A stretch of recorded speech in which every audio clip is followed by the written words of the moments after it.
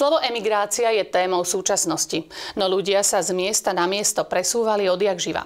Rozdiely sú len v tom, či je človek k vysťahovalectvu prinútený okolnostiami alebo sa dobrovoľne rozhodne zmeniť krajinu. Motivácie bývajú rôzne. Nová výstava Saga Kroatika v Chorvátskom múzeu prináša takéto príklady z chorvátskych dejín. Milovať svoje a rešpektovať cudzie je najlepším receptom na uchovanie vlastnej autentickosti, ktorou prispievame k bohatstvu, rôznorodosti a kráse nášho spoločného sveta. Napísala ako úvod k výstave Saka Kroatika jej kurátorka Tuga Tarle. Výstava, ktorú môžete od minulého týždňa vidieť v Múzeu kultúry Slovákov na Slovensku, rozpráva o výsťahovalectve. Vznikla v roku 2015 a jej autorkami sú tri zamestnankyne Chorvátskeho štátneho archívu v Záhrebe. Tretíkrát sa vystavuje tá výstava. Prvýkrát to bolo v archíve v e, Chorvátskom v Zagrebe, druhýkrát e, organizácia OS Udruga zo Zagrebu, diplomatka, ktorá bola tu, Tuga Tarle, ona e, zabezpečila, sladom na to, že ona bola tiež emigrantkou, vrátila sa do Chorvátska, potom bola v diplomatických službách a teraz ako penzistka založila tú údrugu OS a týmto začala e, skúmať situáciu i výstrahovalectva.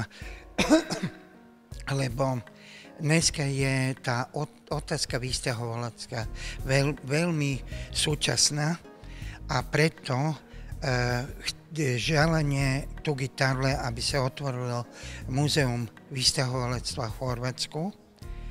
Týmto bolo to pokračovanie tej výstavy prvo v Chorvátsku toto leto v Brbniku na ostrove e, Krk. Po troch mesiacoch opäť to dali do depozitu archívu a teraz sme to vyťahli a ako prvý štát, ktorý v zahraničí sa koná tá výstava, je tu v Bratislave. Čiže je to vlastne archivárska odborná práca, niekoľkoročná výskumná práca a je venovaná vysťahovalectvu, modernom vysťahovalectvu vlastne z 19. a z počiatku 20. storočia ktoré je veľmi podobné samozrejme k nášmu vysťahovalectvu sa zo Slovenska, ktoré bolo tiež koncom 19. a tiež začiatkom 20. storočia a smerovalo najmä teda do západných európskych krajín a samozrejme za oceán do Spojených štátov amerických, prípadne do Južnej Ameriky alebo nakoniec dokonca je veľká skupina Chorvátov aj v Austrálii. A čo tu konkrétne môžeme vidieť, e, čo našli v tých archívoch? Um, je to najmä teraz spolkový život aktivity Chorvátov, osobnosti, ktoré sa pričinili, rôzne združenia, e, významné osobnosti e, chorvátskej emigrácie, dá sa povedať, ktoré nejakým spôsobom zaznamenali nejaký ten, e, tie stopy v tých nových krajinách. V rámci výstavy sa návštevník oboznámi s vysťahovaleckými službami či vydávaním pasov. Dozvie sa, aké boli v zahraničí kvóty na výsťahovalcov či lodné spoločnosti, ktoré využívali. Jeden z tematických celkov je venovaný aj chorvátskym spolkom, školám a združeniam v zahraničí a ďalších významných osobnostiam v emigrácii. Jedným z najznámejších Chorvátov, ktorí emigrovali do Ameriky a presadili sa celosvetovo, bol napríklad Nikola Tesla. Spoluorganizátorovi výstavy Mladonovi Herucovi je téma emigrácie blízka.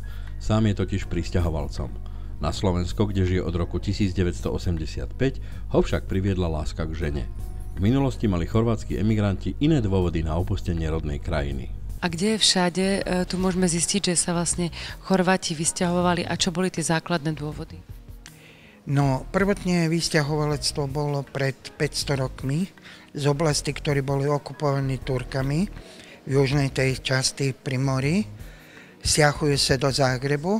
Pred 490 rokmi prišli sem do Bratislavy a okolia, do Burgenlandu, do Hradišťa. A e, v 19. storočí, od polke 19. storočia, začalo v rámci uh, Rakúsko-Uhorska vysťahovanie e, aj Slovakov, aj e, Chorvatov do Ameriky, do Južnej Ameriky, neskôršie do Austrálie, do Kanady. A Týmto pádom e,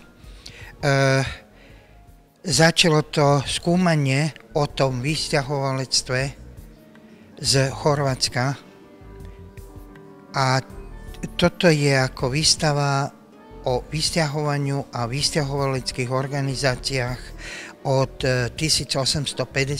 roku až po 1945 rok. Prvom rade to boli tie dôvody, aby utekli pred Turkami, potom tu bránili pred Turkami Viedeň a v 19. storočí prevažne to bola chudoba a týmto pádom sa začalo vysťahovať.